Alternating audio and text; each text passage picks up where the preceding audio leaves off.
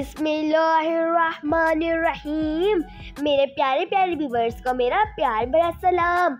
मेरे प्यारे व्यूवर्स आज हम बनाएँगे पालक के पकौड़े बिल्कुल मुख्तलिफ़ अंदाज में, जिसको आप एक बार ट्राई करेंगे तो आप इसके फ़ैन हो जाएँगे। चलिए अब बगैर देर के इसकी रेसिपी की जानी बढ़ते हैं। लेकिन उससे पहले जो लोग हमारे चैनल पर नहीं हैं, हमारे चैनल को सब्सक्राइब करना बिल्कुल भी मत भूलिएगा। यहाँ पर दोस्तों मैंने पालक के पत्ते ले लिए हैं और साइड पर ही मैंने आलू की फीलिंग भी तैयार कर ली थी।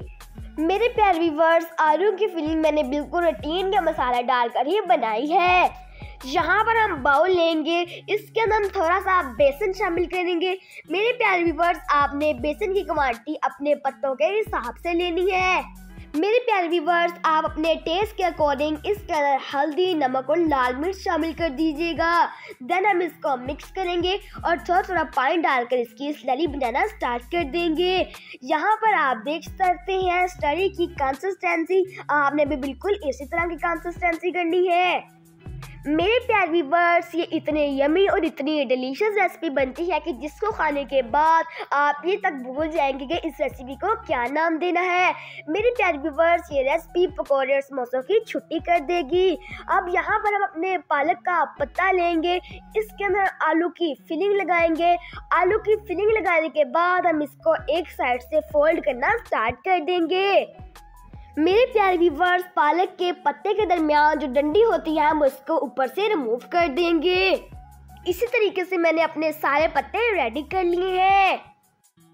मेरे प्यारे व्यूवर्स हम अपने पालक का पकौड़ा लेंगे। इसको हम स्लरी के अंदर डिप करेंगे। स्लरी के अंदर डिप करने के बाद हम इसको फ्राई कर लेंगे।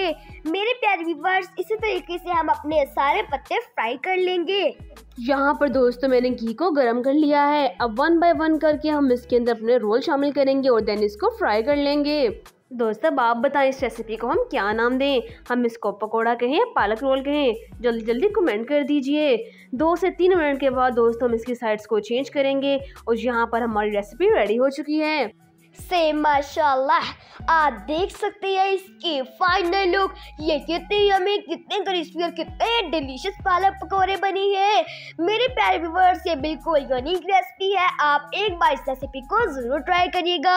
इंशाल्लाह ये रेसिपी आपको और आपके फैमिली मेंबर्स को बहुत पसंद आएगी। अगर आपके घर मेहमान आते हैं तो आप उनको कुछ मुख्त बना कर देना चाहते हैं तो आप ये रेसिपी ट्राई कीजिए।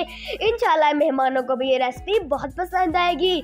मेरे प्यार व्यूवर्स, आप हमारे channel Moodys food official channel को सब्सक्राइब करना बिल्कुल भी मत भूलिएगा, ताकि ऑल वीडियोस नोटिफिकेशन की सूचना सबसे पहले आपको मिले। और जनाब बेल आइकन को भी क्लिक कर दीजिएगा और चैनल को भी सब्सक्राइब कर दीजिएगा और वीडियो को भी लाइक कर दीजिएगा।